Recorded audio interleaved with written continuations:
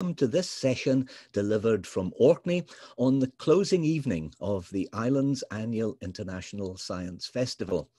We are situated in the north of Scotland on the crossroads of great shipping routes. Over the centuries, they've brought us settlers and trade in Neolithic times and the Viking era, and carried Orcadians around the world seeking opportunities.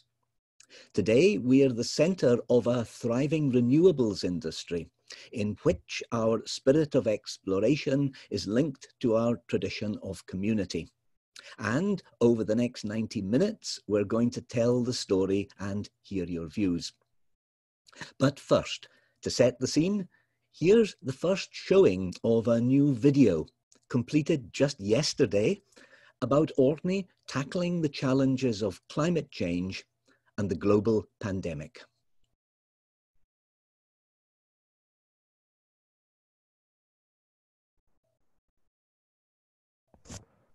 Video will be going live just shortly.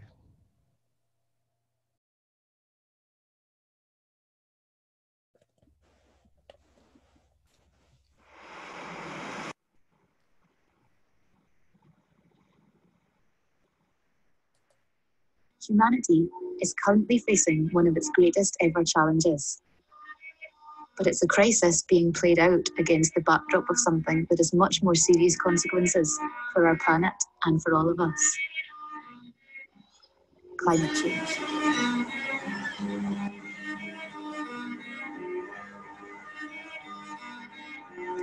We've all had to adapt to deal with the impact of the coronavirus pandemic and now we're also feeling its economic effects.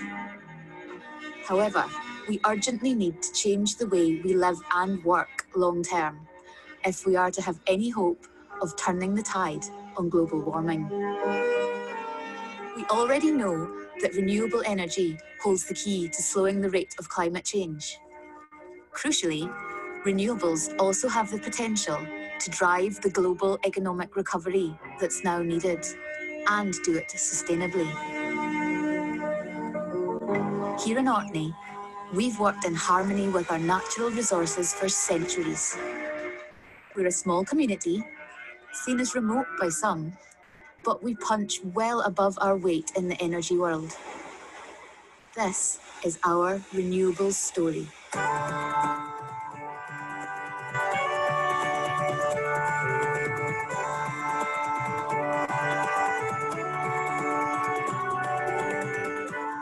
Gets pretty breezy in Orkney. And we've used that to our advantage for decades. We've been testing large-scale wind turbine prototypes here since the 1950s and have pioneered the concept of community turbine ownership too.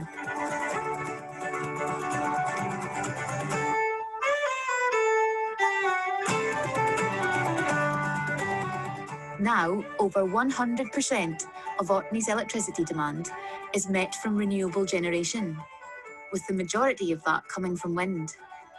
In addition, you'll find solar panels on lots of our homes and businesses, and a range of innovative heating systems in our public buildings. We're also learning to harvest energy from one of our greatest natural resources, our oceans.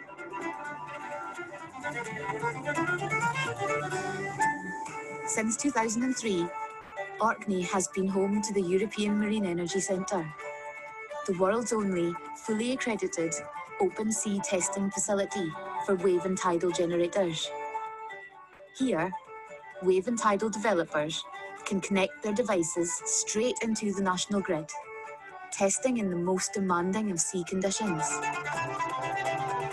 Those developers are supported by a local supply chain that possesses unrivaled experience across a wide range of specialities. And our harbour's infrastructure is world class too.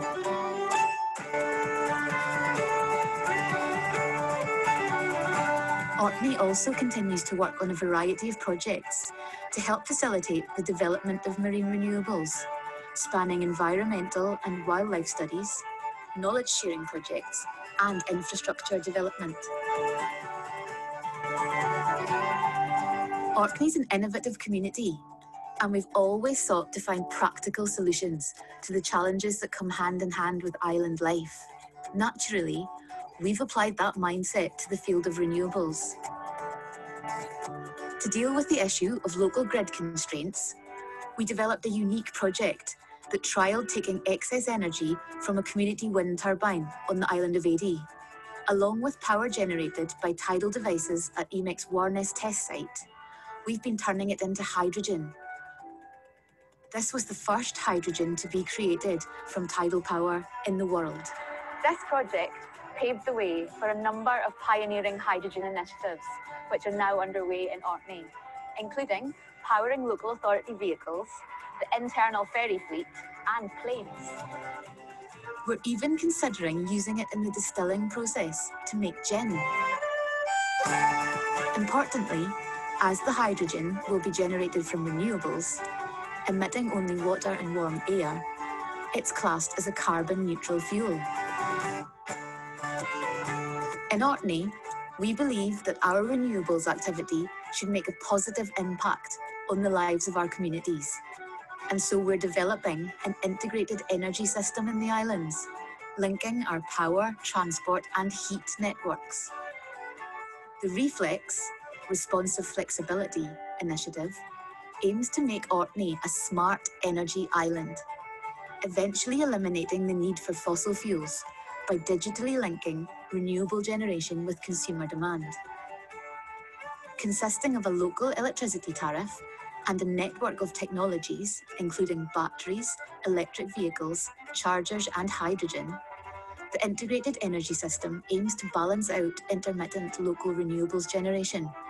Meanwhile, Orkney continues to set an example for the rest of the UK when it comes to electric vehicle ownership and use.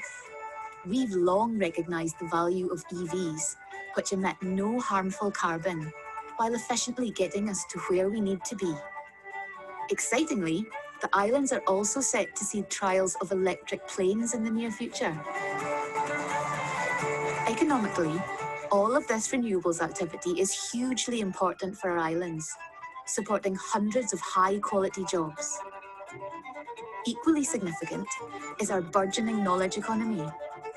In the town of Stromness, you'll find the Orkney Research and Innovation Campus, an international centre of excellence and learning for academic institutions, businesses, and organisations working within the renewables and research fields. This green revolution hasn't happened by chance, though. For over 20 years, the Orkney Renewable Energy Forum, OREF, has been helping drive local renewables activity, providing a key focus and voice for all those with an interest in the sector. Those are just some of the highlights from Orkney's renewables story, with many more chapters yet to be written. We're fiercely proud of our clean energy track record in Orkney and our status as a global centre of excellence for renewables research, innovation and development, and as a living laboratory. But we don't jealously guard our knowledge. We've achieved much, and it's all come through collaboration.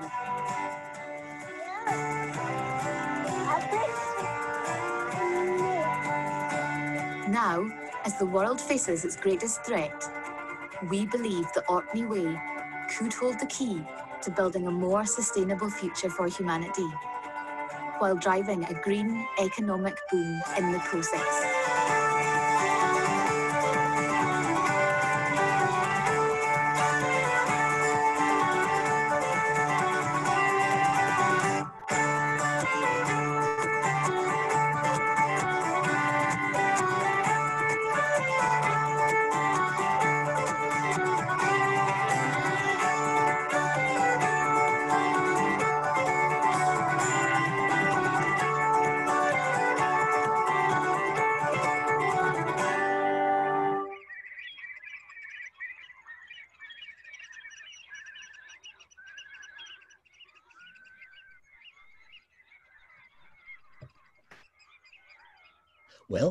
We've set the scene, it's time to meet two people who are going to guide us through the story of Orkney's community energy developments.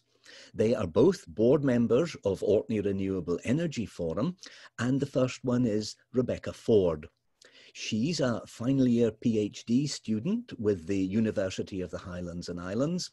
Her research looks at the impact of marine renewable energy in Orkney, focusing on the relationship between language, community, energy, and environment. Thanks, Howie. And with us too is Mark Hull, who has been supporting community focused, island based energy programmes for more than 20 years. Since joining Community Energy Scotland, he has overseen hundreds of energy developments in communities, businesses, and homes. As the organisation's head of innovation, he oversees local and national partnerships in a portfolio of groundbreaking community projects. He's going to tell us how Orkney's island communities became renewable energy generators. Thanks, Becky. I think that sounds me makes me sound way way too impressive and and old. I feel old, maybe not impressive. Um, I'm just going to share my screen. So here you go. Just briefly, as a brief introduction to how all it all started, especially the um, this is really about community energy and communities doing it for themselves as a key theme throughout the whole of the session, hopefully. So um, yeah, so Becky's introduced myself. I've been very fortunate. I started as a volunteer in one of the outer islands and then supported other communities to do this in Orkney. I do this across um, nationally and, and wider, but been fortunate enough to stay and work in Orkney to do this. But yeah, why, why, island, why are island communities doing this? Island communities are in really often a very good position just with resource. In Orkney, we think about when, wind and, and wave and tide to come we have this idea of community power on the edge. The picture you're seeing there is the northwest coast of Hoy. It's truncated to get it into the picture, but it really shows you the power of the environment and the resource we got around us. The wind, the wind that we're always affected by the wind and the wave. The wave stolen half the island, leaving that amazing cliff face, the highest in the UK, as you can see there. It really reflects the resources we have here. And this was a bit, uh, just a small diagram that was done by local organisations, OREF and the council, estimating the power of, uh, of energy in Orkney. And they estimated five gigawatt, five gigawatts of available power. This isn't just raw resource that's reasonable to get out because it's technically and, and economically possible. A lot of that's on the in the way in the marine side. There's a lot we can do as communities. And that brought us to what, we, what the communities wanted from these, um, these projects, is to bring revenue, to get revenue to help our own communities to do things that we want to do ourselves. Early on, we were looking at getting grants and renewable obligation certificates. It moved on to feed-in tariff. Uh, the UK feed-in tariff and most of our projects got feed-in tariffs, but had to take out private loans to do this. Now we're in a period where we're, we're not sure. We have to see what's coming. But even these projects are starting to stack up on their own and very importantly, I would say is community will. You really, these are not small tasks to undertake, anything we're doing here. And you really need that community will to want to do it. And for our islands, a lot of the wills come out of the need. We all suffer depopulation um, to quite a high degree. We talk about absolute depopulation, especially in the outer isles. We talk about demographic depopulation. It's almost like an apple core we have the situation that folk leave when they've come between 16 and 20. We're lucky if we get them back in their 40s. And folk leave the islands to be near healthcare in their 50s and 60s, and you end up with um, high levels of depopulation. Fuel poverty, and, and it's very recognised across um, um, Scotland, the level of heating fuel poverty. Orkney, sadly, is the worst in the country, but also transport, we're in the wrong end of a very long supply chain. And skill shortage and underemployment. We don't tend to have that much unemployment in islands because often as you'll know yourselves, un- unemployment, if you're unemployed, you leave, and it just adds feeds into the depopulation. We have lots of folk then who stay and only have half a job or have a, a poor, poor rewarding job. And we used to talk about doing it for sustainability, but with quite a lot of really uncertain future now, it's very much focused on resilience and how we're going to be prepared for what's coming around the next corner. And these projects that we're talking about, they do bring huge benefit to us and simply money. I mean, all the trusts you'll hear about a situation where they've created independent, community-controlled funds that they can use to do stuff that they want to do that other folk aren't willing to pay for. And they have plans and development plans to do this. And we also use that money not just on its own to bring in more money from others and use it to lever in other money. But it's also enabling. Competence, they say, but it's often just confidence. It's amazing that even on a small community, the skills are there, just people actually need to have the confidence to come out and do and use those skills and be able to um, them. And self-determination. We don't mean this in a in a political sense, but I often describe it. I think a while ago, is it's it's like having one hand on the rudder of a ship. You're not steering the ship, but you have some control on your future. And finally, was good examples. All of us are here. I'm here because of the examples that other folk that came before us. For Scotland, it was the earliest one of all was the island of Gigha, and they had the, they were one of the early islands to get to be able to do a community land buyout, and they, they took over their island um, and managed to bought it out, buy it out with government support. But to make it sustainable, they put up mm. the, the dancing ladies of Gigha, the three, the three wind turbines, and that's um, those the, the, those um, um, provide revenues, and straight away they they um, they um, um, renovated all the properties on their island using the revenue from that. And later on, by 2009, others were getting in on the act. Orkney were looking to develop. Westray led the way for us, and Tiree were the first ones. And back in 2009, they did it, and they did it very early on. And they've been running now for a, a good while, for nearly, nearly coming just over 11 years. And it's been a very successful project, very good wind resources on the island of Westray. But by 2012, the rest of Orkney caught up and that's us in the green on the top. But so did a lot of the country, and there's a real thing that spread across all those red potential developing sites across Scotland. But in Orkney, we had Westray back in 2009. But very quickly on the heels of that, we had Rousay, Egilsay Stronsay, Shapinsay, and Hoy. Oh, Eday. Eday just came slightly later, a year later, but they, they were in the same group, and we all came forward like that. And we're quite fortunate in Orkney because the council were very took a brave decision in many ways and were willing to go and, and invest in their own wind turbines to provide money across the whole of the country, and it's really unique to that. And one community had an opportunity to work with a commercial develop, developer, and um, they have a 10% um, share in that. But this slide should really just show the turbine moving. It was the first day, the day that we did it, and I just I remember sitting there and standing there, and just looking up there and seeing it turning, and just feeling it, and just seeing seeing it start to clock of energy, and just saying it's a revolution. I like puns, but it really was, and it really felt like it. And it's been a long time. But we hadn't really got there. It's been eight years for us personally to get to that point. We were just starting. And I think that's the key thing. We did this for a reason. We've all done this. We've put up these, we're using renewable energy for our own, for what we need to do and what we want to do ourselves. And this is just an example. Recently, Rousay, uh, Rousay Egilsay Wyre did a, an audit and a survey of what have we done and looking back over the period and a phenomenal amount of stuff we've done, a whole range. But John and others, I think, will talk about that later. But it's having the resource. It's not. It's just some two other things I say. It's the things that you do that no one else would, would let you do, or that would pay you for you to do yourself.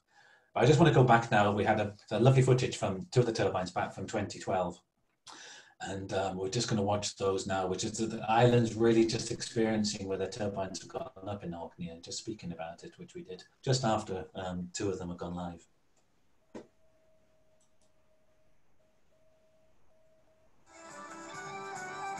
Maybe six, seven years ago, that whole idea of having community turbines was mooted as an income stream for the development trusts and as a way of um, generating income to make the, the communities more sustainable. The best way that we felt that we could ensure that the whole community had a chance to have their say was to have a postal ballot. And of that, 75% of the people who voted were in favour of the turbine project. And Community Energy Scotland have been involved right at the beginning of the turbine project. They did a lot of their initial feasibility studies. They offered, um, which obviously helped us get through planning, but they also offered um, a people to support us. All the development trusts in Orkney that have community turbines regularly get together and you can they share their, their problems and that's actually been really successful. No matter how much you work, how much you put in as a as a volunteer, you can't actually achieve a lot without money. And the turbine is going to give Shapinsay with its 300 inhabitants an income or probably conservatively £100,000 a year for the next 20 years. At the beginning of this year, we funded our out of hours ferry which runs out with the scheduled ferries timetable. So it's a little 12 person boat, but that is running at a subsidised rate. And we've found that to be a real benefit to the community. And the other thing that we've done is we've bought a community minibus. And again, that's helping some of the more vulnerable folk in the community the first year of production of the turbine has been quite amazing. It's surpassed our expectations, and we now know that for sure we're going to be £100,000 a year or more for the community. And uh, production has been significantly better than we expected. So we've already made some payouts to community groups because I think it's really important that the community benefit is there and that they feel that benefit right away. And we know that it's around 7p every time the blades go round. So um, everybody in Shapinsay is really good at the seven times table. um, we've had a tremendous support from a network of people. Um, but in spite of that, I think there were times when even I thought it, it, it wouldn't happen. It was too big for a small community. After all, we're only 360 residents in our island. The difficulties, I think, mostly sharpen my resolve rather than make me stop. Well, it's a support mechanism for the project, and me as a turbine development officer, it was absolutely essential. I don't think we could have done it on our own. The group working, the whole function of the uh, power Orkney was to give support to each group, and there was a scary uh, thing to take on, a multi-million pound business that we were doing. The support that we had, particularly from uh, CES, in the form of Mark Hull as chairman, uh, I personally believe that this wouldn't happen and we wouldn't be sitting here making this video about a successful turbine project.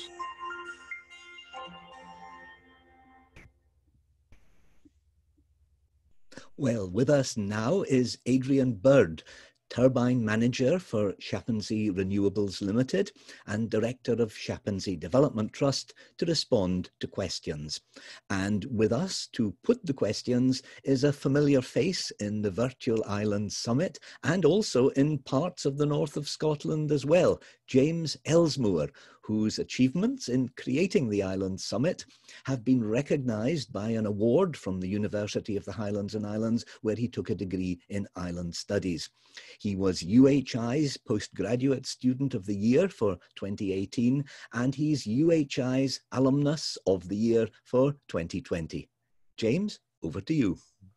Well, hi, Howie. Thank you for that kind introduction. And uh, you're right, Orkney is a very special place for me um, with that connection through my master's program.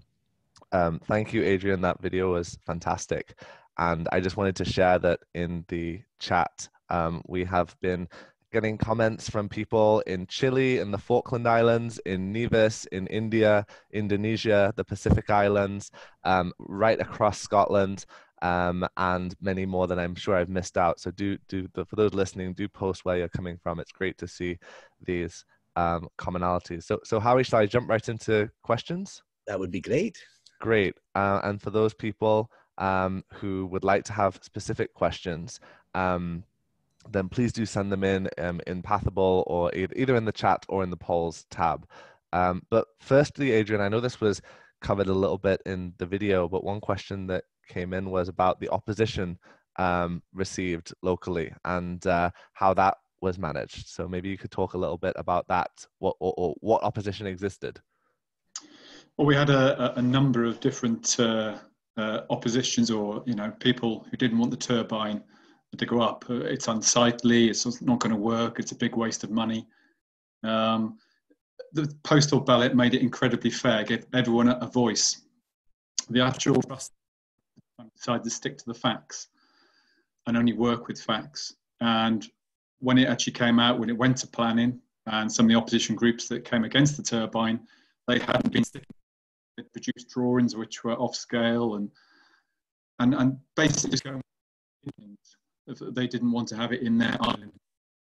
Too many turbines going up. Um, the, the, key for the trust board as well is the benefits of the turbine. It's great now. Mark Hull has uh, already suggested the huge benefits and the huge power it gives us as a community. That's the real benefit. There are times when, yes, people don't like to see turbines or, or electricity grids they deliver will clearly outweigh the negative effect of having a the island. Time for one more question, James. Um, well, this is maybe a, a two-part question, a continuation um, of that same one was maybe briefly you can just touch on if there were any adverse impacts from the turbines. That's a question that's come up and um, what the reality is there. And um, also just a little bit about how many households are covered and if all that energy is used locally or, or exported. Hopefully we have time for that. Okay. No adverse impact at all. Uh, all the surveys were done with birds and TV receptions and everything's everything fine, no problem. Um, we don't actually supply anyone locally in the grid. We will sell off to the national grid because it's really important for us to get the best. Okay, back to you, Harry. Adrian, thank you very much indeed. In 2012, Orkney's early innovation was leading to a growing success with communities generating renewable electricity. But the communities faced further technical challenges, as Mark will now explain. Yes, and share my screen again.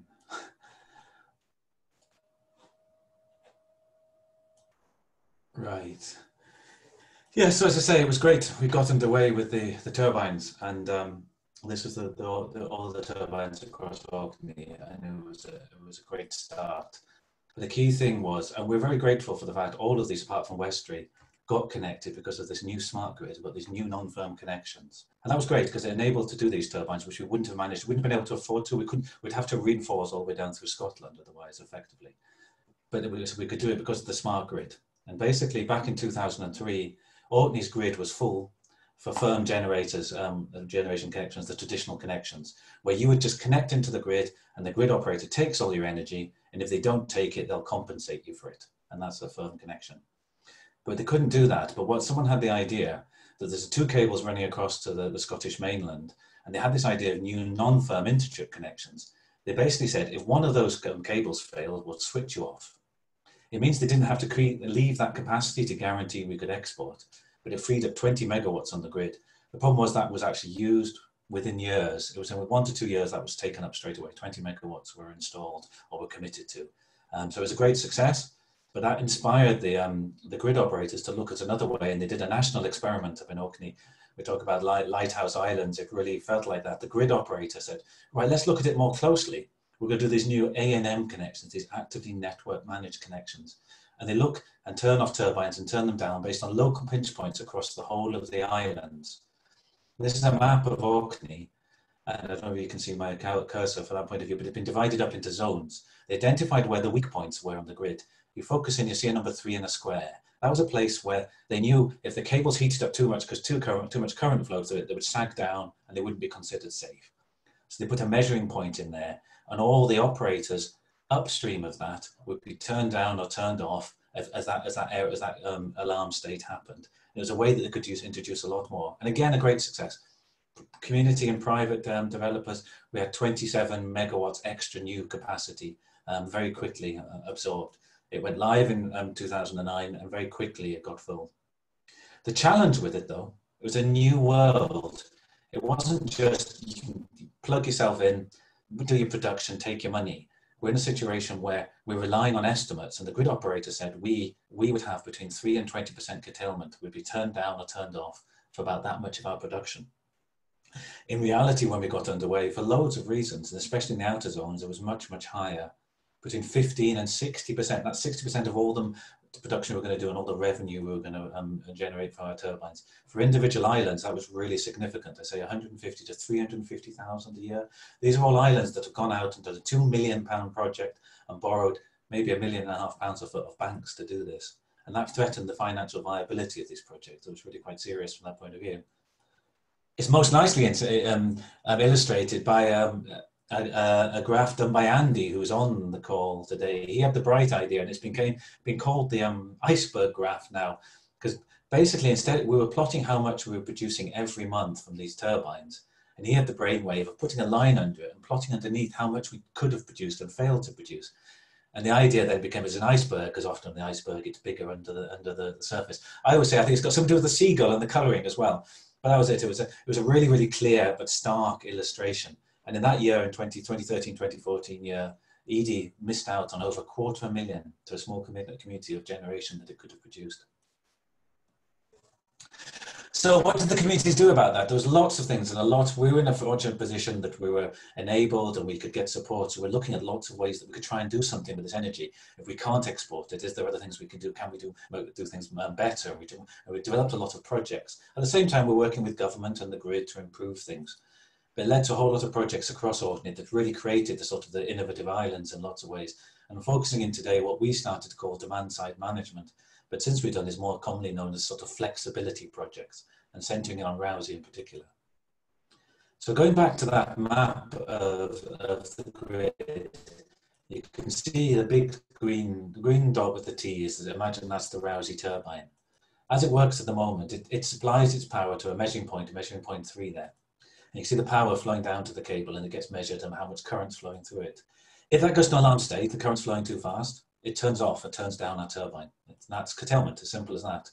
We had the kind of brainwave and set a project and a, a trading subsidiary called Heat Smart where we basically, all the houses, our houses, our own community, our own houses became our resource. They're connected to the grid. We could put power into them at the right time when the turbine was curtailed and soak it up before I get to the measuring point, get rid of the alarm, and the turbine comes back on simple principle. A lot of technology had to go by behind it because to make it work, we had to time it so it did it at the right time. It, it, it produced, the, it let the houses take the heat and the people still got it when they wanted it. But we also did it when Rousay turbine benefited and not all the other ones in the, um, in the zone. But that was it. It was a very, very simple principle. It was a community-led project and there's a lot we had to do. We ended up being an energy company. We had to have customer relation management tools. We had to go out and recruit and do all this sort of stuff. But we installed, the installs were completed back and went live back in March 2018, where we just started to match this intelligent demand, taking, taking heat into people's um, um, storage heaters and um, hot water cylinders at the right time to match turbine, keep the turbine producing. This has gone on now for two years and it's quite a sophisticated system. You can see it's almost like a heat map of all the, the, the, um, the houses and where they're taking heat across the communities. And on the left, you'll see two traces. The top one, every green line is a curtailment incident. And on the top one, that's heat going to the bricks of a storage heater. And the next one down, it's the water temperature in hot water cylinders, heating up, taking that curtailment and keeping our turbines turning, but also leaving it and storing it there for when the householders need it themselves. We were really, this was, for us, we were just trying to solve a local problem, but we suddenly realized we were actually innovative and groundbreaking. It was the first local supply model like this in the UK it's great, it works with existing systems. We're proud it's been community owned and driven, and it we consider a just intervention, so socially fair. Hopefully, be cost effective and self sustaining. We're now going into business usual, trying to do that. We're not there yet. But delivering affordable warmth and social resilience and a model for wider energy. We didn't realize how much of a model it was until um, the years passed. One of the first things that came out of this work was we got involved in a European project. We were approached that um, the, Smile project um, is a very substantial 14 million euro project and it's three island, island groups now all working together. We wanted to take what we're doing in Heat Smart Orkney and do it with more modern, efficient equipment. We're using old-fashioned storage heaters, hot water cylinders, and try and um, future-proof what we're doing. So we're working with the islands of Samsø and Madeira that have their own individual issues, and we'll hear a bit from Samsø later on. But particularly in Orkney, we're really concerned about them tackling fuel poverty, affordable, affordable warmth with efficient heating systems, and also looking at um, transport. But I say, Rousay and the other communities are a hands-on community, and that's our turbine to the top left there. And Brian, who's on the panel as well, that's him fiddling around in a, in a turbine box, which is often known to do. He, he's checking and putting devices in there that make the turbine intelligent so we can communicate with it. And these are other things that we just put in people's houses as part of this project, like specialist heating storage, batteries, EV chargers, hot water cylinders. Um, but that's really the projects we've been doing. Smile, Smile has been running um, and was meant to be an installation phase. And this is just before lockdown. We almost got there. Um, this is a graph of all the different types of installations we've been doing across the North Isles. And just before lockdown, we, we nearly got to 100%, but there's still some other things that we're waiting and just now tidying up and getting finishing. But it's just about to go live um, operationally. Um, but I'm really keen just to go back to Heat Smart Orkney and, and hear a bit. And uh, we, we, uh, there's a short video about Rousay Egilsay Wyre and their story and what we've done with Heat Smart Orkney.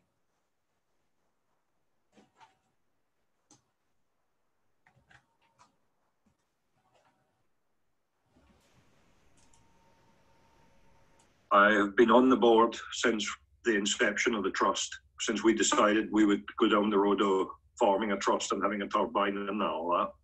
Part of the three island group on average between 230 to 250 people uh, of various ages involved in that community.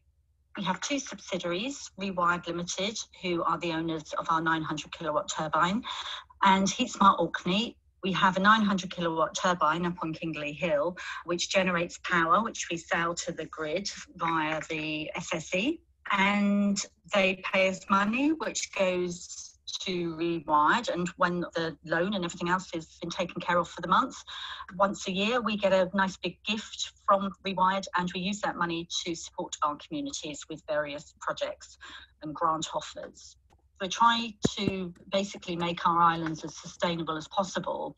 So that's sort of trying to encourage people to live here so the population numbers don't dwindle too much, uh, making sure that we try to get the right split, which can be very difficult as we have a lot of older residents and not many in the 35 to 50 age group.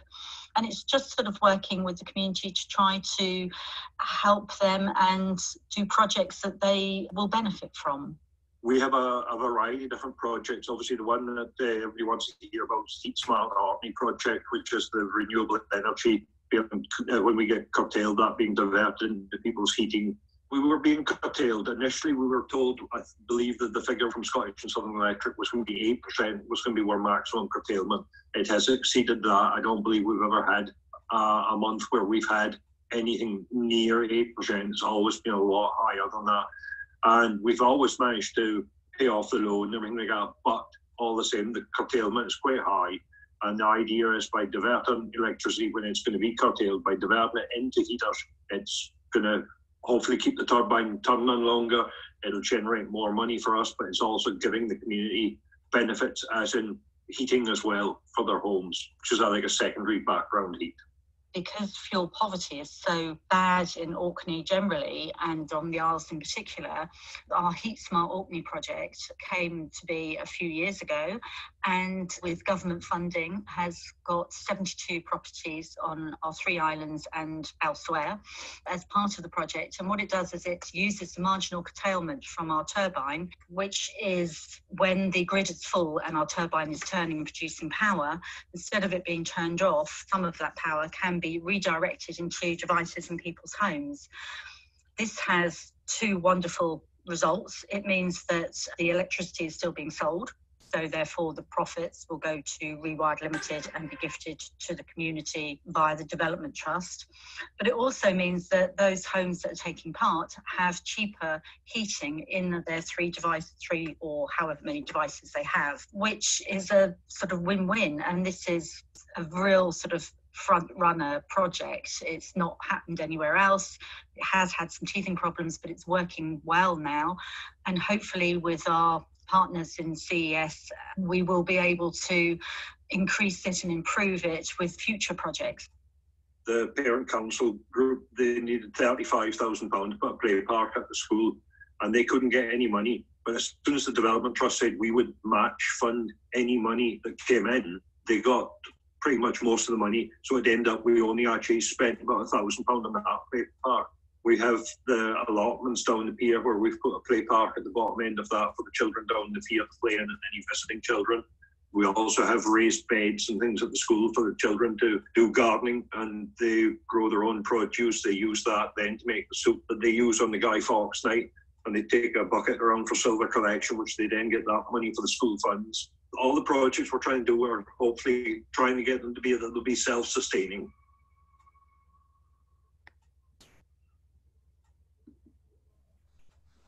And joining us now from Rousay to answer your questions is John Garson, Chair of the Rousay Egilsay and Wyre Development Trust, and also a Director of its wholly owned trading subsidiary Heat Smart Orkney. Also in Rousay is Laura French, Turbine Manager for Rewired Limited, and also a Director of Heat Smart Orkney. And joining us from the Danish island of Samsø is Jan Jansen, engineer at the Samsø Energy Academy, who manages the Samsø part of the SMILE project. So first of all, Jan, why was Samsø willing to be involved? Uh, Samsø is a small island. Uh, we are just uh, 3,700 people. And um, we have uh, we also participate in the Smile project that Mark Hull was uh, talking about. Um, and in our part, we have installed a big battery. Um, it's uh, something like 240 kilowatt hours, uh, equivalent to three Tesla cars. Uh, we have installed it in a, in a yacht harbor, a marina. And we have also installed uh, photovoltaic uh, cells, panels. Uh, so uh, when the sailors arrive in the summertime, um, they draw electricity from the battery and the PV panels and uh, we're about uh, let's say 50% uh, self-sustainable in, in the marina. We use the battery as a as a buffer. So it's experimental and our energy balance is very good already with renewable energy.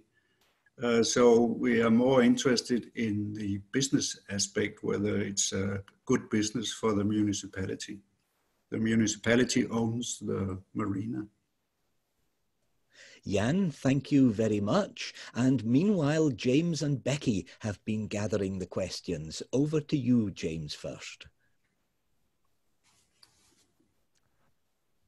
Hi, Jan. Thank you for that um, overview. And for those people who don't know Samsø, it's kind of a legend in the sustainable islands, renewable islands, for really being the global pioneer for for this work. So it's great to um, hear from you as well. And I, I guess I'd be curious to start off with uh, one question we've received is for islands that maybe haven't um, made much progress so far with um, renewables? Where where do they start? Um, because it's not just a technical issue; it's a finance issue, it's a community issue. There's a lot of different components. So, any kind of words of advice on people looking to start their communities on this this trajectory? John, that could be one for you and Laura to follow. Yeah, the main thing that we did was get the backing of the community. You need to get the backing of, the, of your whole community together to get a mandate because the bigger the backing you get, the people, other funders are willing to fund you if you've got 80% of your community is willing to go ahead with the project. If it was only 10%, they wouldn't be very keen to fund it to the same extent. And it's it's, it's just looking into it, research, get people on the ground that know what they're doing, speak to people that's done it in the past. Laura, is that your experience very much? It's about communication and laying a very strong community foundation at the outset. I think so. I think it's really important to do um, to listen to what the community is wanting as well. I think yeah, make sure that you you're delivering what they what they want. Otherwise, it won't be a popular project. I think Becky's got a question that's come in for you both. Uh, well, I think it's for all three, actually. Uh, it's a question about how um, the SMILE project is contributing overall to Orkney's energy reality. Ooh. Turning to reality. Well, hopefully, um, maybe our next presentation will give a bit of that, Becky. Um, to some degree, I think we we we ended up doing it because we had very local needs and requirements and drivers in our community.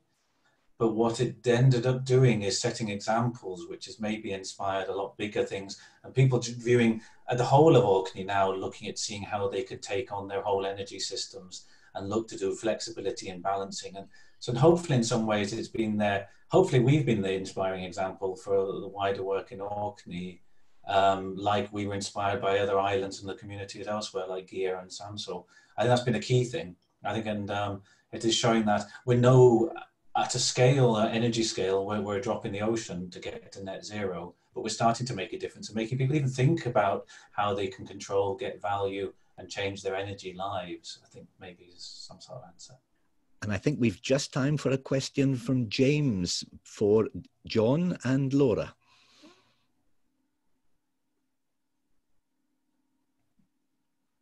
Yes, thank you. James is reflecting. Or no, I, I, I, we have we have a lot of different questions coming in. I've been trying to figure out who who suits which question.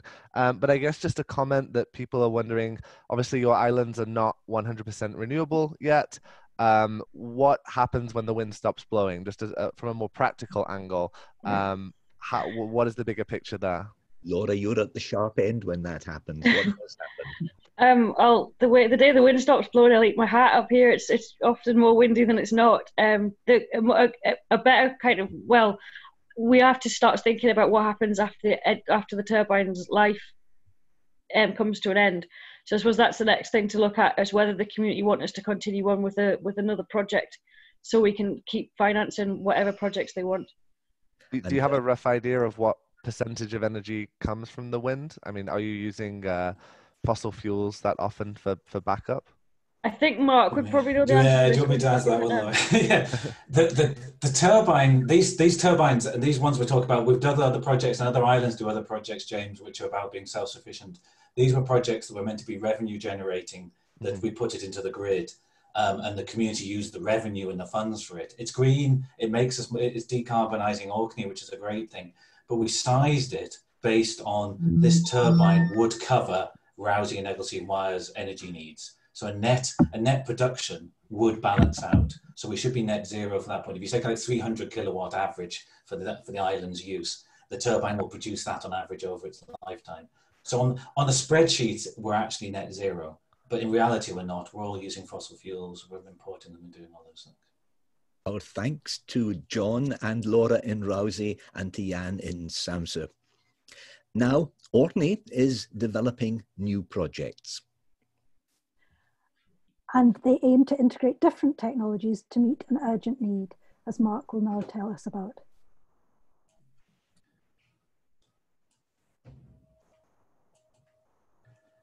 Yes, so hopefully that's, you can now see, this is a final short presentation. I think we've covered a lot of it in that discussion. I think I mean we we were doing these projects and we were leading um, and doing the things that we were doing. And just say this, this is the sort of this the Smile project where we've got a household where we've now got smart controllers linking into batteries, a heat pump for a good heating source, and using thermal storage, using storage um, um, things like hot water to do that. And we're particularly interested in, in vehicles. When this project first started, um, we first ever matched curtailment to an electric vehicle. So there's a lot, there's a chance to do that, and you can be basically car, the flexibility of when you charge your car gives you a resource that you let that lets people to be able to have cheap electricity, but equally matches turbines, and was exploiting that um, but exploiting that flexibility. Well, also with the Smile project, there was a real interest amongst the EV owners and the community that they, they wanted to do more. Um, and especially try and green the outer islands to get green tourism, to make a network and infrastructure. And the way we saw doing that was actually putting charges across the outer isles in tourist, to tourist place, accommodation places to encourage people to do green tourism, to get out there and do that. But also as a different challenge where we had to design technology that would take every, every car and every different sort of technology. So these sort of things were the things that we were trying to develop and bring through for Smile. At the same time, that was feeding into the wider issue. I said we were doing it, but even other people independently were thinking about it. And Orkney got together and really applied as a collective. Um, and one thing that Eileen touched on in her video that we do do well is, is getting together all the different sectors. But a lot of individuals, the councils and smart um, startups, um, EMEC um, and other partners came together, and Aquatera and Solo, to this big project. And they, they bid into this huge, it's a 30 million euro project and um, to Innovate UK. And it's to do a really big thing now from this point of view, across the whole of Orkney, region wide, we're meant to be doing this aggregated, flexible power, transport, and heat all together, integrating them together and balancing them in the way that we're balancing turbines with people's homes.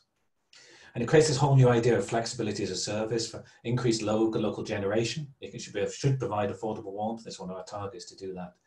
Electric supply arbitrage and wholesale balancing. We we we now can actually work in the energy markets with our individual flexibility we have in people's houses and their cars and create revenue that communities can benefit from and offer those sort of services.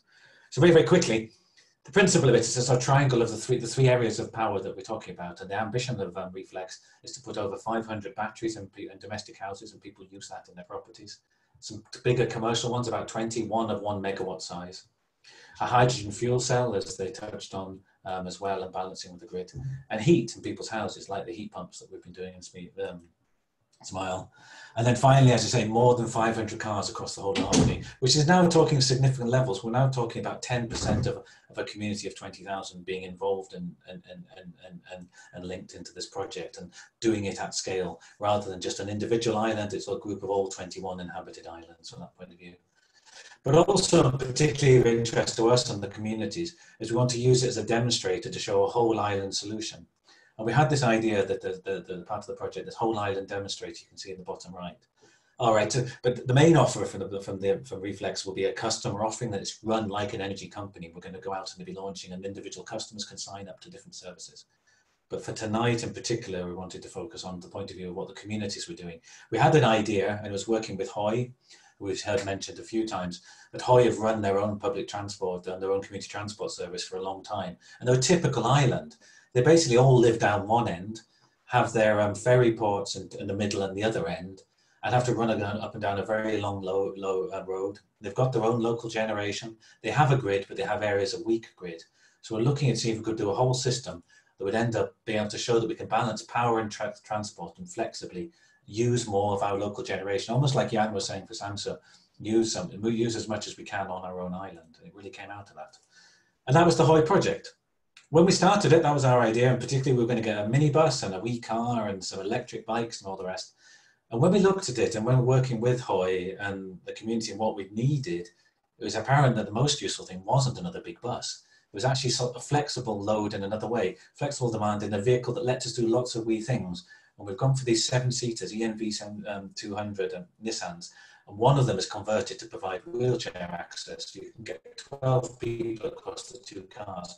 And that gave Hoy the best need to fill the gap that they have on their own transport service. Brian talks a bit later about that as well. And also, interestingly, the electric, the electric bikes were dropped. And that was an interesting community's role. The community thought about it, but also at that time, a private individual was looking about supplying that as a service. And that wasn't our role. If someone else is willing to do it, we don't need to do it. And that's great from that point of view. So it freed up the option. We went and looked at looked at Eday, and Eday were quite interested in the bus. But when Eday got wind of it, they said, actually, yeah, no, we actually like those two cars. It's a good model, and we're doing the same there with the two ENV 200s. And it freed up more budget to also put a, a car out in Shapinsay. And the electric bikes out in Papay, one of our more remote islands, would have quite a, uh, a small road system, but already have infrastructure and want to get people um, um, having low carbon tourism and uh, resident transport. And finally, on the mainland, already we have OCTO, which is the um, community transport organisation, a social enterprise that's doing a tremendous amount on doing flexible mobility across the island. But there was opportunities, and through ReFLEX, we created these light, lighthouse car clubs. And the idea in Stromness at the campus there, we're going to have three cars that people can use, the public and the, the businesses on a day-to-day -day basis. And in Kirkwall, at the harbour, where all the boats come in from all the outer islands, we're going to have a car club and it provides the opportunity for folk not to take the car across every day now. They have an opportunity, they can book a car when they can come on, they can just come as a foot manager, cutting down costs, cutting down carbon and energy. And there's these sort of things that really came out of a lot of the work we've done as part of this bigger project and, and the opportunity to, for our islands again to show how we can lead and demonstrate.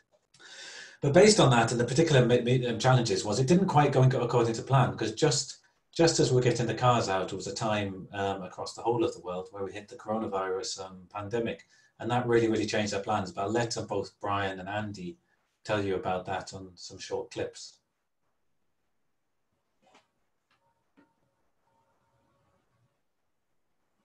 Hopefully. Apologies, yes. We're on a show right now.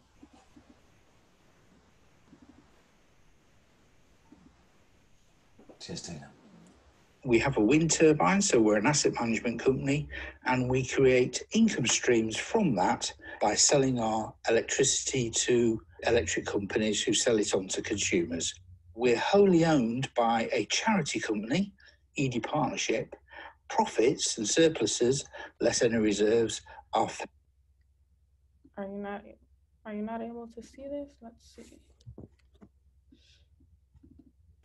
Can you guys see the screen? We can see it now. if you just put it back to the start, thank We you. can, we can see it now, Taylor. Thank you. Yeah. We have a wind turbine, so we're an asset management company, and we create income streams from that by selling our electricity to electric companies who sell it on to consumers. We're wholly owned by a charity company, Eday Partnership.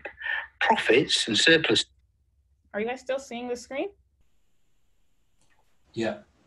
Is every, can you hear and see everything? We've just lost the audio actually. Taylor, I think it seems to be frozen. Mm-hmm. Let's see. Okay, can you hear me now? We can hear you. That's that looks better. Yeah. Okay. Let's see. I'm just closing and refreshing, not sure. Company, and we create income streams electricity to electric companies who sell it on to consumers. We're wholly owned by a charity company, Eday Partnership. Profits and surpluses, less any reserves, are fed up to the parent company in order for them to meet their social outcomes. We tend to get around and talk to people, and we heard of the ReFLEX project, and it looked like a perfect fit for Eday. So we got involved and, and, and started asking questions, to which we got some positive answers. But we realized at the time that, you know, should our application be successful, that ERE wasn't the correct vehicle to drive, forgive the pun, uh, the correct vehicle to drive it forward. So we then contacted our parent company, Eday Partnership, and said, look, guys, there's this opportunity on the horizon. If you think it's a good idea, here's the details. You pick it up and you go run with it. And uh, I'm pleased to say they did. But we're the Eday Partnership. We've been going for 15 years now, and we raise money as a charity out into the community that will benefit the people of Eday. The idea was to get some sort of bus service on the island, and of course, electric vehicles was the ideal thing because we have power, you know, from the turbine, and it started with just a bus service, but then we put our heads together and thought of lots of things that they could be used for, like a school bus run, taking um, people to the shop that didn't have transport, what with the, the one van having wheelchair access, we could take people in, in a wheelchair to the shop. And we also thought it could be used for to help with tourism, to um, pick up people from the pier, take them to the hostel. There was a, a plan to have a like a bigger minibus, but we decided to have two smaller ones and one to take a wheelchair. So we would always say one vehicle that was on the road or available, like if your one was in for repair or be a bit more resilience, the idea was. COVID 19 hit the scene, and the electric vehicles were on their way at the time, but they hadn't arrived. And so when they did get here, they hit the ground running really because we used them for food parcels, delivering meals, helping in the community to supply people with things. Yeah, they've been invaluable over this lockdown period. Yeah, the van's just in a fair bit of running around delivering the, the meals at the weekend and like when it's all volunteers doing the job, it saves their petrol. The vans are, are currently being used for school bus run, which again is, is very valuable in the community. Other community groups can also use the vans for if they want to go, if they want to take the children into town for something, swimming lessons or anything like that. The school could use a van for taking taking the children to school if they want to go to other islands for book clubs and or even if somebody in the community was needing to go into the hospital or something like that, somebody could drive them in. That's where the the van that's fitted with the, the wheelchair ramp would be a handy thing, or that would allow somebody just to get out for a spin or pick them up to the shop or run or that. I think it'd be a good thing.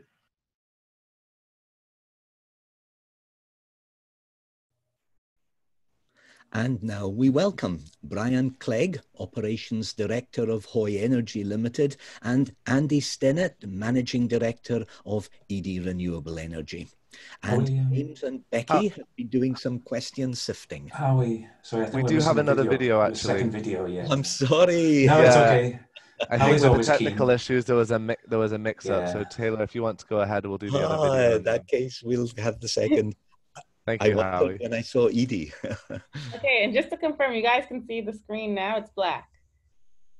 Yes, we can see it Yes, its go black. ahead. Okay, perfect. Hoy is an island of approximately 50 square miles and a population of approximately 370. Hoy Energy is the trading company for the island of Hoy Development Trust. The trust owns a local revenue generating turbine of 900 kilowatts, uh, and we use the funds that it generates to deliver important goals that our community want and need, and mostly that no one else would be willing to provide, such as maintenance of the community building called the YM, training and travel bursaries for young folk, and folk of all ages who want to learn new skills. And we have developed, operate, and maintain our own community bus and mobility service. We've been operating standard diesel buses for a number of years, but as our current rolling stock gets towards the end of its life, we wanted to make the service sustainable over the longer term. Even better if the vehicle can be powered by the electricity that we generate locally here from our own turbine. When we were given the opportunity to be the demonstration site for the grid smart and flexible whole island EV transport activities, we could see how we could both benefit. In the project, we are running two e-NV200s, one of which has been adapted for wheelchair access. Originally, we were considering more of a traditional minibus type service, but our early exploration showed that the two smaller vehicles could provide a better and more flexible service for users, as well as some non standard community needs, shall we say. We hoped running uh, these mainly as a community public bus service, charging them at the YM, our community building, but COVID quickly changed all our plans. But the vehicles have proved in this, this situation quite a godsend and we're not at this point sure just how soon we may go back to our old plans. The vehicles have proved absolutely invaluable, delivering hot meals for the elderly and the infirm, particularly when isolated, distribution of medical supplies between various buildings on the island and the ferries, and deliveries where necessary for um, prescriptions and over 50 square miles. That's proved to be an extremely helpful service as a result of a recent community survey, it was discovered that a community wide contribution to decarbonisation, a community wide benefit from reduced energy bills, was found to be extremely important to the community as a whole. Therefore, partnering with the ReFLEX project and progressing the legacy project for solar generation to individual properties with utilizing battery technology is hopefully going to continue to deliver success. The Legacy project is a Hoy only project which essentially aims to provide renewable generation and associated community benefit to the residents of Hoy long after the current and existing community turbine has surpassed its useful life. The plan is to attach solar PV panels to generate renewable energy and store it in lithium ion batteries on individual households on the island with the basic aim of providing a cylinder full of hot water and sufficient energy for lighting and small amounts of space heating on a daily basis. The Legacy Project aims to do this on a cost effective basis for a period of 25 to 30 years hence the term legacy project.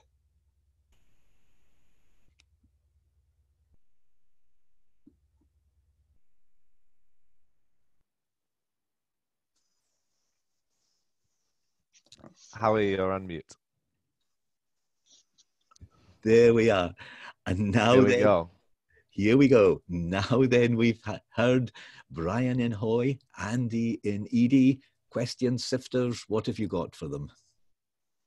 Uh, I have a question for Brian, if he could talk a bit more about the Legacy project and how that is being used to address fuel poverty.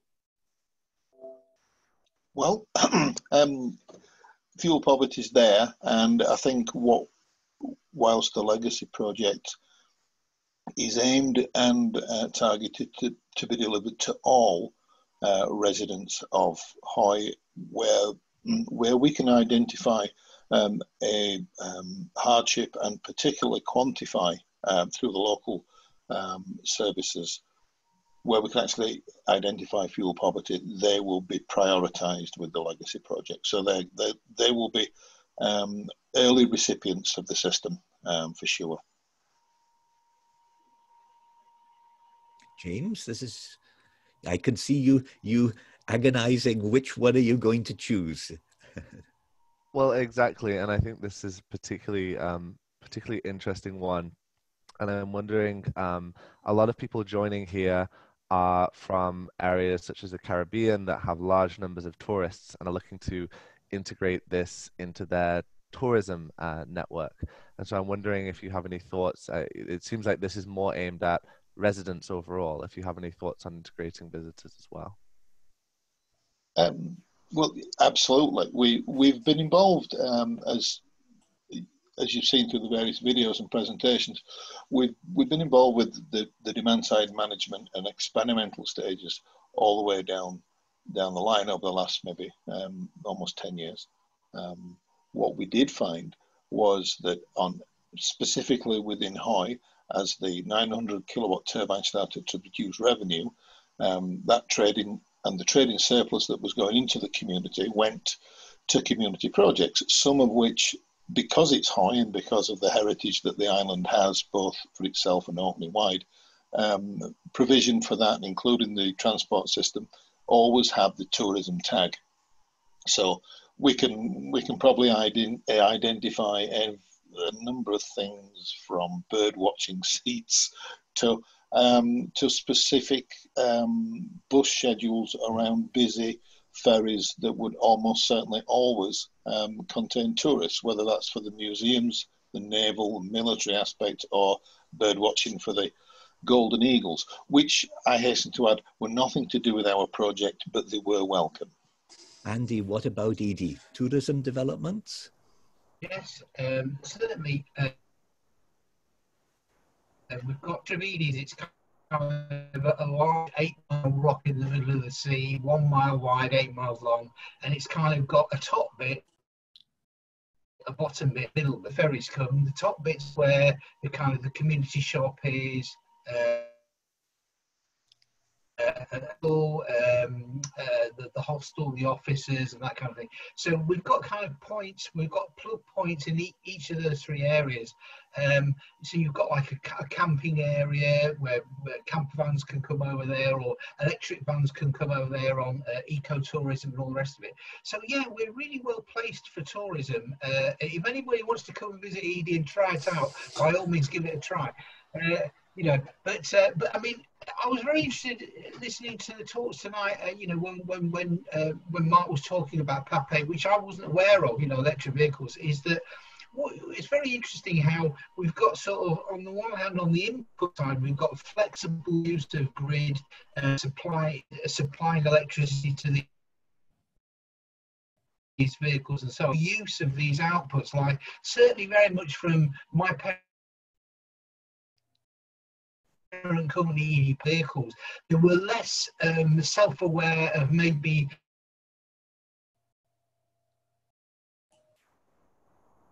the connection. And I think certainly ecotourism could be a great thing. She bites, but uh, I don't think it ever we, we managed to get that going. Maybe. No, I think yeah. beautiful, two beautiful, two beautiful islands to visit. Exactly. Time is catching up with us, and in fact, we're going to move to a closing session for fuller discussion. But just before we do, I'll thank Andy in Eday and I'll thank Brian in Hoy. And before we move to that final session, I think Becky, do you think it's time for a break? I think we'll have a short break. Uh, we'll show a nice video with some uh, images of the islands in Orkney and uh, we'll be back in two minutes.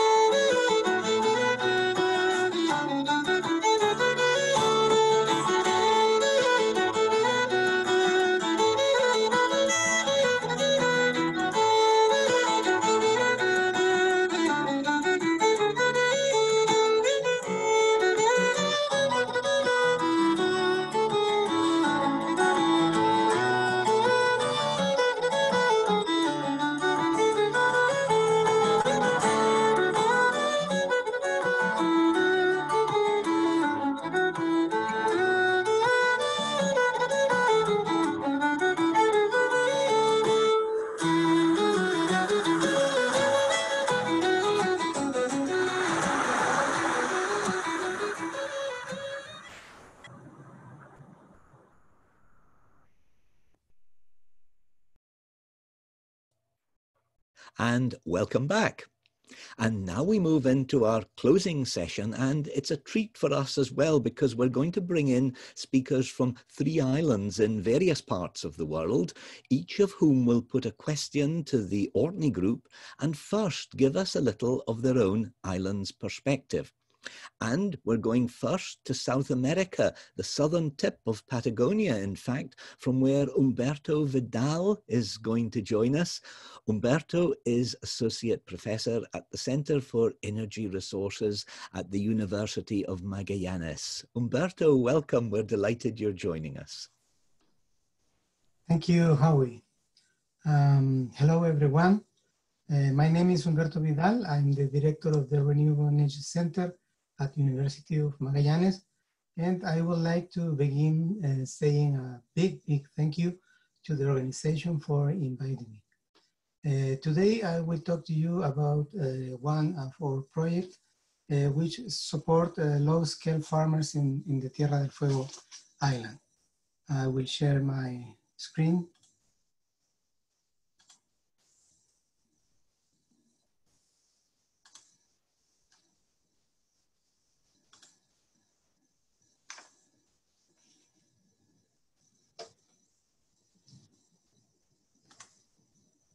Okay.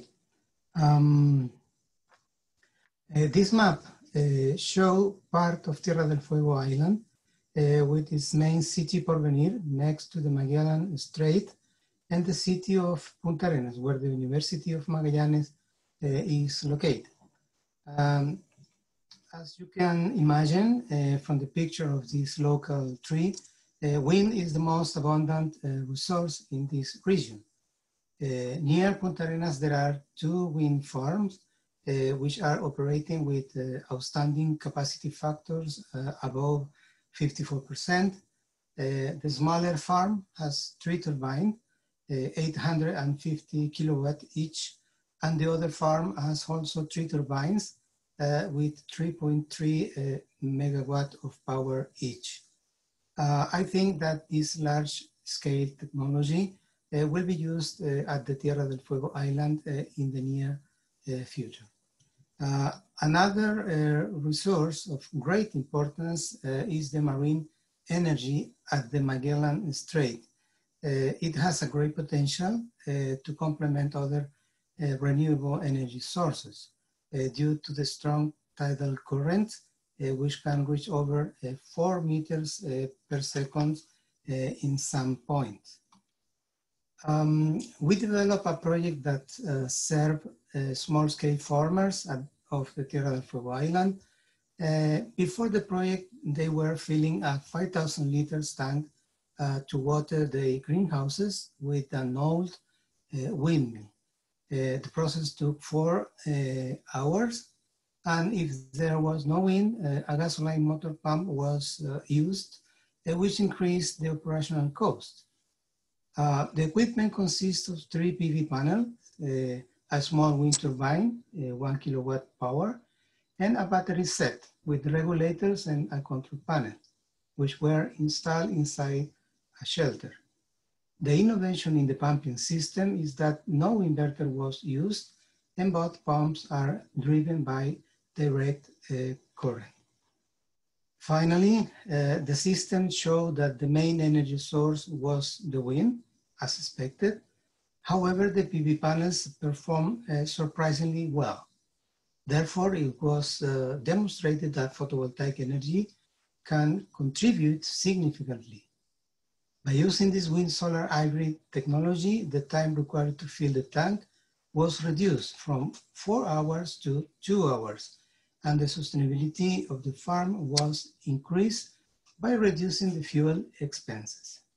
Um, I'm sure that uh, we can learn a lot of uh, the Orkney Island experience. Thank you very much for your attention. Thank you, Umberto. Would you like to put a, a, question to the panel or will I just ask Mark to comment? I think Mark wants to comment and he's, I think he's seen some interesting similarities between Orkney and yourselves. I think I'm thinking Mark's there. If Mark isn't there, I'll just briefly say, Umberto, in Orkney we get wind speeds, some really high wind speeds because we don't have so much shelter on our landscape and the wind seem to come, seems to come for a long distance across the Atlantic. Is that the same for you? You're, I think you're mute. That's it. Now you're uh, on. Uh, yes, uh, we, we have a great uh, wind potential here uh, uh, because um, our geography is, has very similarities with the Orkney Island. Uh, we have also a great potential of marine energy. And uh, I, I, think and I believe uh, that in the near future, we're going to, to have a, a similar situation that you are living now. We're looking forward to keeping in contact. Thank you, Umberto, to, for joining us. And we're going to move now to the Indian Ocean and the Andaman and Nicobar Islands, where waiting for us is Ibrahim Jadwet, who's the secretary of the Nicobar Chamber of Commerce and Industries and a social entrepreneur working for Chains. Hello, hello, and welcome. Welcome, Ibrahim. Thank you very much. Uh, it's really a pleasure being part of this uh, group. Uh, I can see three or four et- uh, people from my islands are in the audience, uh, which gives me uh, more energy to speak about it. So, Andaman Islands is actually a group of 572 islands in the Indian Ocean, and we belong to the the Indian government. It's actually a union territory, and out of 570 islands. There are only uh, around 37 or 38 islands. So there's a population of all about four, roughly around 400,000 people. And, uh, and it's uh, famous for tourism. And I hope uh, all of the people listening today might uh, visit the islands once the COVID situation uh, is better. And if I talk about the energy, uh, we are not much focused on uh, wind energy, but uh, like since the 1920s, our dependency on energy is only on fuel, on generators.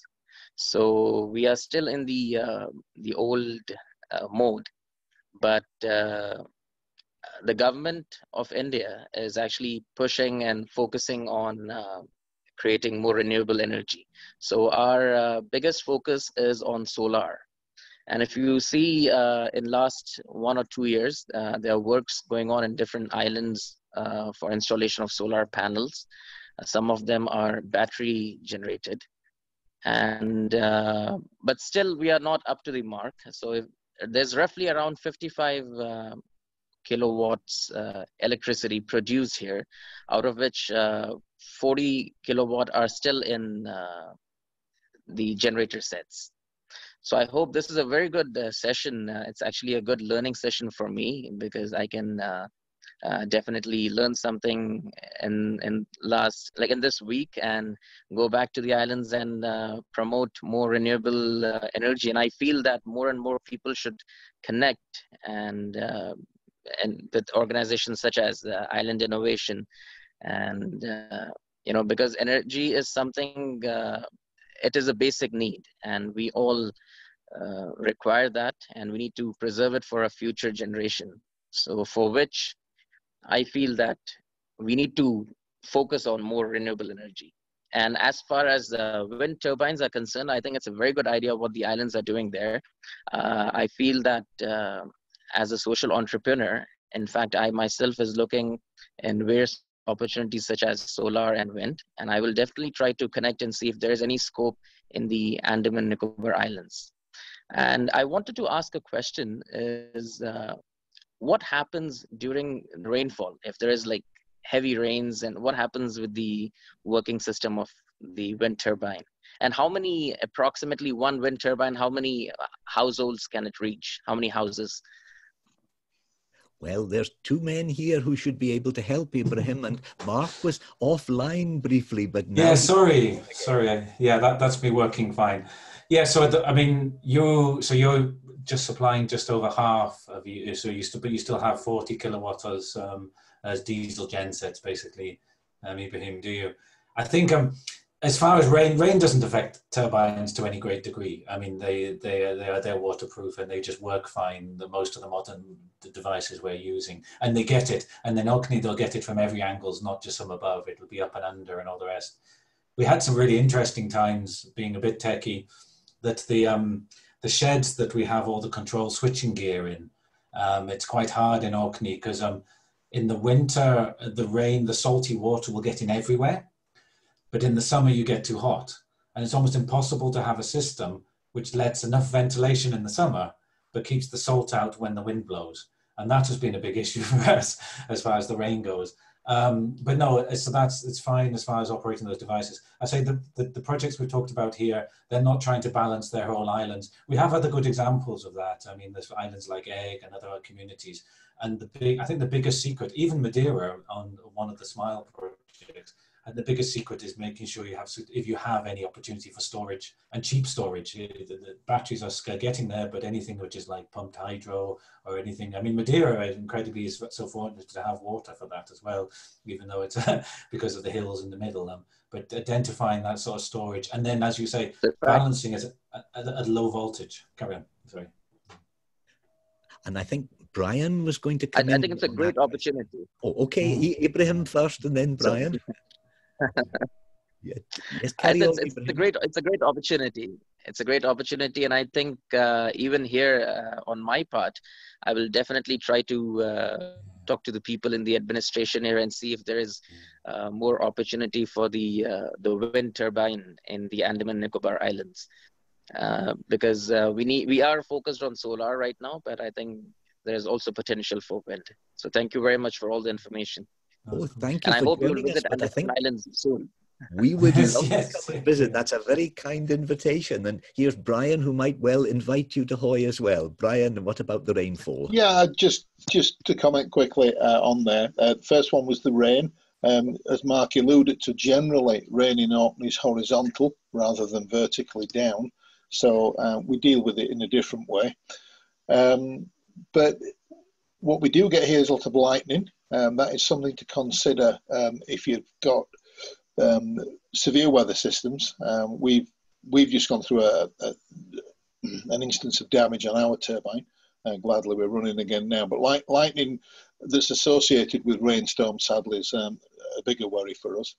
Um, but the second point I wanted to make, Ibrahim, for you there, as you assess your options, um, our wind turbines are quite large. Probably the, they're the size they are, as Mark said earlier, to optimise um, the government incentive scheme, what we have, what we call the feed-in tariff.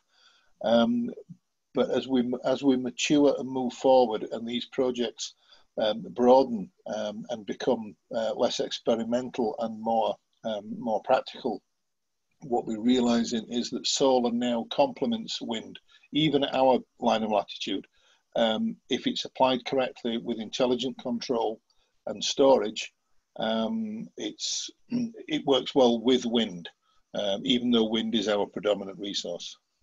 Yeah. Brian, thanks for this, and Ibrahim, thank you for joining us and your questions. And we're going I to. just, I just wanted to add something. Uh, yeah, a quick, a quick note. Uh, one of my um, colleague, uh, who's a very senior journalist here, Zubair, he just messaged me that uh, the Nicobar Islands has already or winds over there. So I think it's a really uh, a great opportunity for us to uh, connect, and I think I'll definitely go through all the notes and files of this summit in last one week, and definitely will look forward for it. We've enjoyed awesome. your company very much. Thank you. And now we're going to go through several thousand miles of cyberspace because our final destination is in the South Atlantic, out on the mid Atlantic ridge. It's the island of St. Helena. And waiting for us there is Lolly Young, who's chair of the community organization SHAPE. And those letters stand for St. Helena's Active Participation in Enterprise. The organization tackles the challenge of island waste and the question of how to turn it into a resource in a social context. Hello, Lolly, and welcome. Hi, Howie. Thank you for having us. And um, a little bit different to renewable energy, but we're just glad to have this opportunity to showcase our social enterprise. I'm going to share the screen. Okay, so um, SHAPE was established in 2006 as a social enterprise.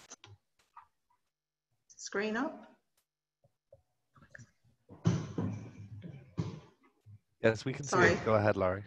Lolly. Okay. And um, it actually came from an, an, idea in the Shetland Islands. So in 2004, there was a consultancy that um, the Australian government recognized the need to um, put disabled and vulnerable people into employment and towards independence. And so we model SHAPE on the COPE Limited from the Shetland Islands. Um, as a social enterprise, we funded 70% by SHG, um, St. Helena government funding, and 30% from um, other um, fundraising, donations, and sale of our products. And we have between uh, 20, we have about 25 people coming to SHAPE um, ages 18 to 65 uh, with varying disabilities. And we have a number of training programs, but we thought we'd just highlight tonight some of the more environmental training focuses we have on, um, on offer. Um, so some of the things we're doing is we're taking the fibers from flax and aloe and making it into um, traditional crafts. And we've recently started using the leaf and weaving that and flax and aloe being both invasive species, so helping in that way. We operate a small, um, small scale processing initiative, taking the wool from the farmers in its very smelly state and then processing it into really lovely products. Um, here on the island, all of that would end in landfill. Um, it wouldn't be um, changed into anything, it would just end in the landfill. And then last year we get, began a very small a small scale plastic recycling project, making souvenirs, working with a few other small organizations on Ireland, trying to um, prevent the uh, plastics from going into the oceans. But one of our biggest and our uh, most successful projects is around paper and card recycling. And we are the only fully operational mechanized recycling plant on Ireland. Um, we managed to get all of this through funding from the Darwin Plus um, funding over the last years. Um, we heard people talk about um, resilient communities and the need for the local support, and that's one of the things we're really proud of about SHAPE is that we are well regarded throughout the local community. We work in um, collaboration with the community. Um, we have actually supported a number of our people into full-time employment. And of course, one of our successes is our very niche market in terms of paper and card recycling. And we have the opportunity to grow something really fantastic. But like small islands, we do have our challenges. And unfortunately for us, our local market still hasn't quite adapted to that local artisan, handmade, recycled goods. So selling our products are slow and much more slower since um, lack of visitors to the island. And one of our big challenges too is we don't have an online banking presence. Um, our banking facilities on island doesn't allow for marketing and selling off island. And then again, like all islands, we, you know, funding is always a challenge and we compete with quite a number of organizations on island trying to raise money to support their organizations. And with grant and aid, because we get money from um, the UK to run our island, um, funding is always really vulnerable for us. But it's been really interesting listening to what other projects are going on out there and how other islands are combating this. Um, and we at SHAPE, we have a very positive can-do attitude and we continue to look with optimism to the future. So it was really, really wonderful to give us this opportunity to just showcase a little of what we're doing to help the environment on our small island, all those thousands of miles away from Orkney. And the fact that we've come in full circle, that we took the model from the Shetland Islands and now here today. Thank you very much, Howie.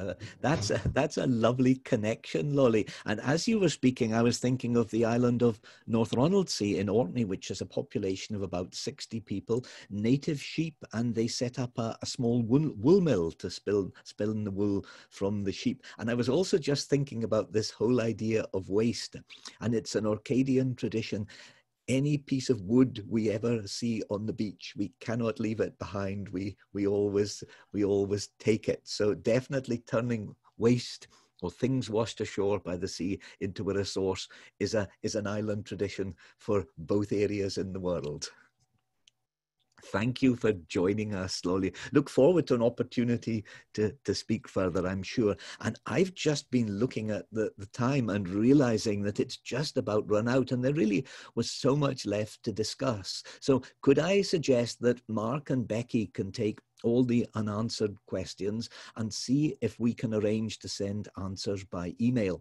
In fact, for anyone wanting to follow up with contacts with Orkney, whether for energy links or culture or business, or of course science festivals, you're most welcome to contact us through links in the Virtual Island Summit.